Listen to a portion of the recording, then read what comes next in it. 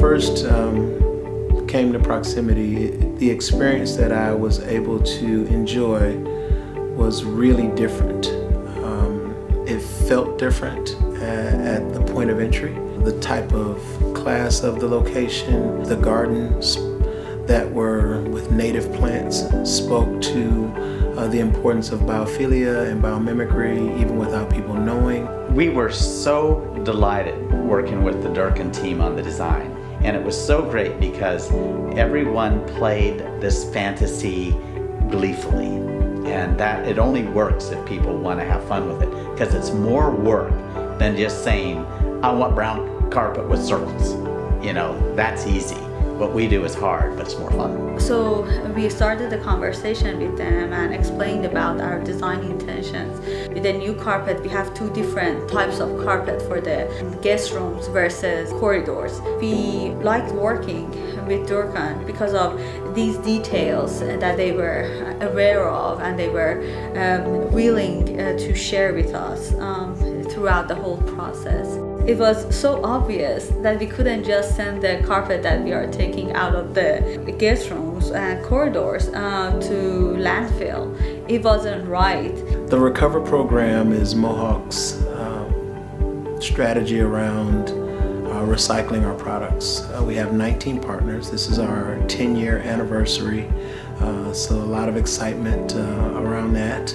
Um, I think that we're moving into an era that's more a true circular economy where we're finding multiple ways to source things and looking for different alternatives of how we actually source different products. What's really um, great about the reclamation project is Durkan made it so easy for us to do this. They provided all the materials, a schedule of um, how we needed to proceed with handling the carpet once it was taken out, rolling it up, putting it in boxes, you know, having it so it's neat and organized. The motivation for uh, pursuing the U.S. Green Building Council's certification program, uh, which is Leadership in Energy and Environmental Design, was to have a third-party certification for what we were endeavoring to do. And the most credible certification program is the U.S. Green Building Council's LEED program. I just think that anything that you end up having in your hands ought to be looked at as a resource, not as garbage.